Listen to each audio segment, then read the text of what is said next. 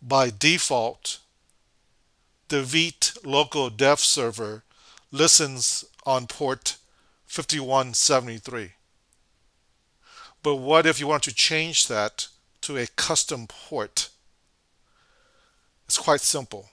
Go to the vite.config.js file or TS if you're using TypeScript. Go to the default config. Inside of the object,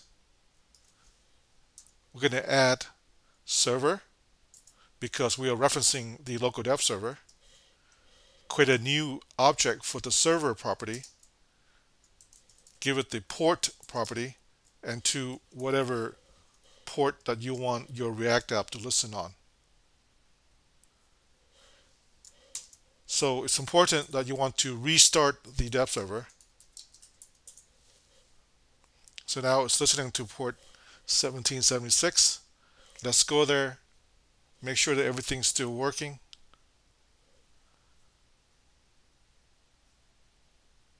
Okay, make sure there's no error.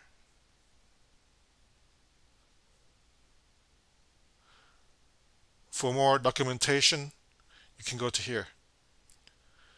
Okay, I hope that's useful. If it is, please consider liking and subscribing. If you're already a subscriber, thank you for subscribing. See you next time.